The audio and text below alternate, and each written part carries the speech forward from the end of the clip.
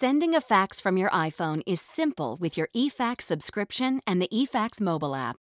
To send a fax using the eFax mobile app for iPhone, tap the floating action button at the bottom corner of the screen. Toggle the cover page to enabled or disabled.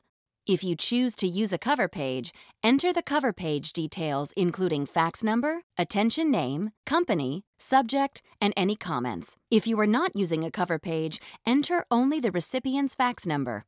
To send the fax to a contact from your iPhone or eFax contacts list, tap Contacts. Then make your selection. Now to add files to the fax.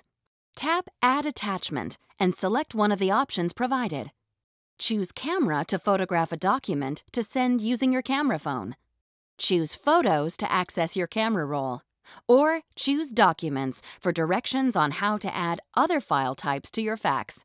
Do this for each file you want to attach. You can remove pages from the fax before sending. To do this, tap Edit, then tap the minus sign on the file to be deleted, and tap Delete. When finished, tap Send. To start faxing right from your iPhone, sign up for your eFax account today.